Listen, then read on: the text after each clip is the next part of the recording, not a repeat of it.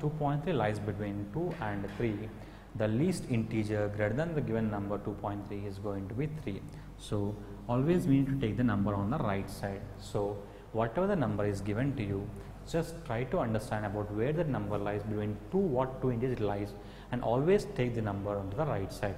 The greatest integral value is to be taken on left side the least integral value is to be taken on, taken on the right side. So here it's very easy. Instead of going with the number line always to go with the number on the right side. Say for example if I ask you what is the least integral value of 4.3 the least integral value of 4.3 is going to be the number on the right side number line.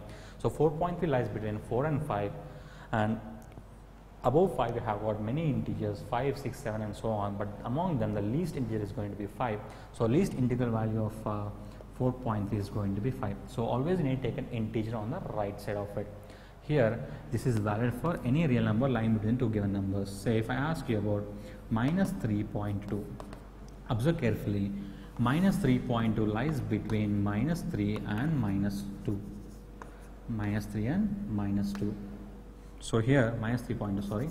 Minus 3.2 lies between minus 3 and minus 4 so you get minus 3.2 so minus 3.2 lies between minus 3 and minus 4 always you need to write the number which is onto the right side of the number. So that is going to be the least integer the number. So you get minus 3 so in this case minus 3 point you get minus 3 so in the previous case the step value of mean, greatest integral value of uh, x uh, I said you if it is a positive number if it's a positive number I asked to write the number integrate integral part of the number directly. Whereas if it is a negative number I asked you to write the number in this way. Like you know if I have got uh, say minus 4.2 what is the greatest integer less than equal to the number is going to be minus 5 so in this case what you do is take the integral part of uh, the number and add a minus 1 to it to get the greatest integral value of the negative number. Here exactly same what you do is if it is the least integral value of some number asked so what you do is if it's a positive number take the integral part of it and add a 1 to it you get the number the least integral value of number. If it is a negative number simply take the number what you have that is going to be minus 3 so if you have got a negative number write the number as it is like the number what is lying in the integral part uh, and whereas if it is of uh, a positive number always add 1 to the integral part of the number that gives the number. Or otherwise go ahead with the number line. And least integral value always lies to the right side of it and the greatest integral value lies towards the left side. So that's the reason. The definition of it says that if the number x lies between n and n plus 1 including can be n plus 1 also no issues. The least integral value of it is going to be always n plus 1 as a number to the right side. So this is what the definition says about. So i have told you about what is the least integral value of the variable x. Now because we have seen the least integral value of x let us see some properties of least integral value of x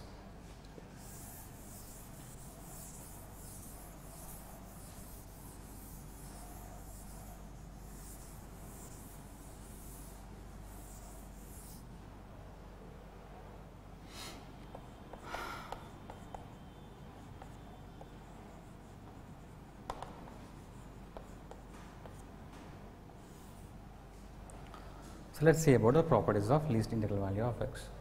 The first property is nothing but like you know the same way how we have done the past like if uh, if uh, the first property if it is a number inside the uh, uh, least integral value of x if a number given here is going to be integer then obviously the least integral value of x is going to remain the same that is maybe greatest integral value of x or maybe small maybe the least integral value of x both are going to remain as x only in case if uh, x is going to be an integer.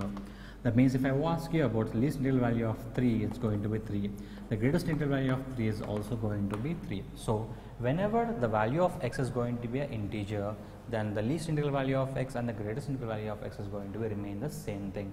So there's no change in it. Coming for the second property. The second property says that here is exactly same way like you know the least integral value of x plus i x plus i. Whenever we have got a, a expression like in the form of x plus i then obviously we can separate the integer aside and can take the least integral value of x and can add the integer how it happened like in the previous case. So we have gone through some example in the previous case also exactly same way. Here if you have got some number, if the integer can be separated, then you can take the separator integer separately like go with some example. So if I want to find the if I want to find the least integral value of 4.3, the answer for it is going to be 5 because the number to the right side, the integer to the right side is going to be 5. So obviously this least integral value of 4.3 is going to be 5.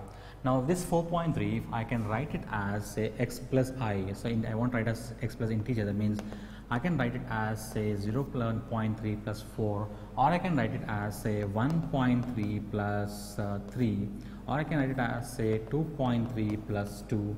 Observe carefully here if I separate it that is based upon the property if I want to separate the integer i then the least uh, integral value of to be taken only for 0.3 not for the integer. Means it can be written as least integral value of 0.3 because this 4 is an integer we can get 4 out of the bracket. So in the same way here also you can take it as integral value of least integral value of 1.3 plus 3 can be brought out of the bracket so same way here also least integral value of 3 plus 2 can be brought out of the bracket. So now what is going to be the least integral value of 0.3?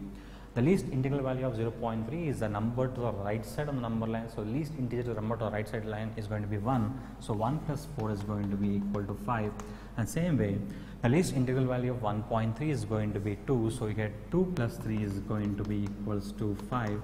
Exactly same way if you want to go with the least integral value of 2.3 it is going to be 3 and 3 plus 2 is going to be equal to 5. So whatever you do it you do take it uh, sum directly and get the result either in that way or apply this property applying this property we can get the integer out of the bracket so that we can simplify it the result is going to remain the same. So here in this case so you can apply the property. This property can be applied either with the greatest integral value of x or you can apply it with the least integral value of x. So so if it is of a, this kind of common property what you have in the greatest integral function and also greatest least integral function. Now coming for the third one like if they ask you about how to solve a least integral value of x equation say for example I have a equation of the form least integral value of x is equal to a how we are going to solve the equation. So in this case here it's nothing but uh, equation solving like uh, least integral value of x is equal to some integer. Say for example say integral value of s this integral value of x is equals to a where a is going to be integer so for example say 3 if I take. So what are the numbers that are going to satisfy this in equation equation? So if I take the numbers say 3 now what are the numbers are going to satisfy this equation now let me take some number below 2 uh, below 3 and uh, above 3. So if I type the integers as 2 and 4, now which numbers are going to satisfy this equation? Say if I take say number right from 3, if I take 3, step of 3 mean at least integral value of 3 is going to be 3. So 3 is going to satisfy the equation. So if I take some number on the left side say 2.9 or 2.1 something like that if I take 2.1, the integral least integral value of 2.1 is also 3, so it's going to satisfy the equation, whereas 2 will not satisfy the equation. So any number between 2 and 3, including 3 but not 2 is going to satisfy the equation. Therefore, therefore the value of x is going to be any number any number between any number between 2 and 3 including 3 it is nothing but going to be the formula like you know n less than x less than or equal to n plus 1 so it's exactly same way. It is going to be a less than x less than or equal to a plus 1 where a is going to be an integer. So if you have got a least integral value of uh, x function equation then the result of that uh, the solution of that particular value of the x is going to be lying between a and a plus 1 including a plus 1 let us go ahead with the uh, inequations of the type less than or greater than type. Say if I take least integral value of x less than some integer i, what is going to be the solution for it? So let us solve it by using the example. If I take least integral value of x less than say 3, where right side contains the integer. Now what is going to be the solution for this inequation? So for which I take a number line, I take a number 3, I take 2 and as well as 4. Now what are the values of x which are going to satisfy this inequation? So if I take number 3, 3 if I take integral or least integral value of 3 is going to be 3 but 3 is not less than 3 so 3 will not satisfy the equation. So what numbers are going to satisfy the equation? Does the number less than that means like say 2.1 something like that does it satisfy the equation? So least integral value of 2.1 is not 2 is going to be 3. So any value more than 2 is going to be more than 3 so it does not satisfy the equation but if I take the number 2 if I take the number 2 say least integral value of 2 is going to be 2 and 2 is less than 3 so any number less than 2 is going to satisfy this equation but a number more than 2 cannot satisfy the equation that means the solution for it is going to be x less than or equal to 2 so whenever such kind of inequation comes where the right hand side is an integer then the solution is going to be x less than or equal to the integer minus 1 the integer minus 1 gives you that 2 here. So integer minus 1 means going to give you i minus 1 so this is going to be the solution for the least integral value inequation of less than type if i have got say least integral value of function which is less than or equal to i then what is going to be the solution for it? In this case let me just take the same example but with less than or equal to say same draw the number line with 3 and a number below 3 and a number above 3 an integer above 3 same integer is going to be 4 so now what numbers are going to satisfy this inequation if I take number 3 here 3 is going to satisfy the inequation because least integral value of 3 is going to be equal to 3 so 3 is less than or equal to 3 so 3 is going to satisfy this inequation Whereas if I take a number more than 3, say 3.1 or 3.5 like that, say if I take 3.5, 3.5's least integral value of 3.5 is 4, 4 cannot be less than 3. So I cannot take a number more than 3, does not satisfy an equation. So any number less than 3 is going to satisfy an equation including 3. So all the numbers less than or equal to 3 are going to satisfy the inequation. So solution of this inequation is going to be x less than or equal to 3. So finally, we can say that the solution for this kind of inequation is going to be x less than or equal to i. So it remains the same. So without the bracket. So coming for the next uh, inequation is going to be least integral value of x it's strictly greater than i. If such kind of inequation is given to you, then how do you solve such kind of inequation? Let us go through some example. Say least integral value of x greater than say 4 so what are the numbers which are going to satisfy this equation let's take 4 and let's take a 5 let's take a 3 now let us start substituting the values into the inequation if i take any number right right from 3 onwards of course if, if i take 4 the least integral value of 4 is going to be 4 4 cannot be greater than 4 so 4 does not satisfy an equation. If I take any number more than 4 like 4.5 kind of thing 4.5 least in value of 4.5 is 5 5 is going to satisfy an equation. So 4 does not satisfy an equation but any number more than 4 is going to satisfy an equation. That means if I take 4.1 least integral value of 4.1 is 5 so 5 is going to be greater than 4 so any number more than 4 is going to satisfy the inequation so so the general solution for step uh, least integral value of x greater than i is written as x greater than i. And finally, if I take the last one that is going to be least integral value of x greater than equal to i, what is going to be the solution for it? If I take least integral value of i, least integral value of x greater than or equal to i, what do we get here is we get say greater than or equal to 4. So what is going to be the solution for it?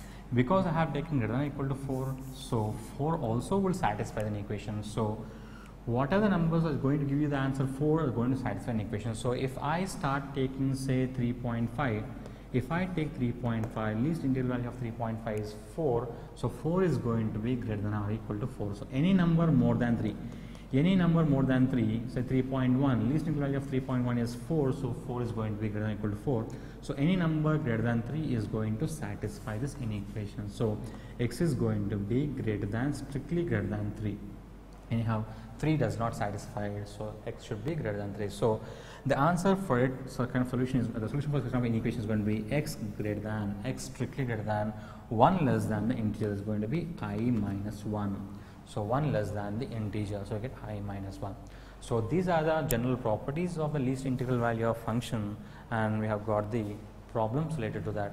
So the problems what we have in our aim will do some examples here by based upon its properties. So I'll go ahead with the example. Example 1 least integral value of x greater than 3 so evaluate so second one least integral value of x greater than or equal to 4 and third one least integral value of x less than 2 and the next one is the least integral value of x less than or equals to 3. So, what are the solutions for these inequations? Observe them carefully. They are in one of these forms. So, applying one of these properties, you can get the solution for this inequation. Least integral value of x uh, greater than 3, strictly greater than 3 is going to be the type number 6. So, when we apply the property here, we get the result as x is greater than 3. Uh, same way, if I take the second one, the x is uh, least integral value of x is greater than equal to 4, greater than equal to 4 is going to be a question number, uh, property number 7 type. So, the solution for it is going to be x greater than i minus 1. So, x greater than i minus 1 that's going to be x greater than 3. Coming for the third one, uh, least integral value of x less than 2, it's going to be the type number 4. So, we get x is less than or equal to i minus 1. So, we get x is less than or equal to 2 minus 1 we get x is less than or equal to 1 and finally x less than or equal to 3 is going to be type number 5 where the solution for it is going to be x less than or equal to i so we get x less than or equal to 3 and finally these least integral value of uh, inequations are going to be solved in this manner. Now let us say about what is going to be the least integer function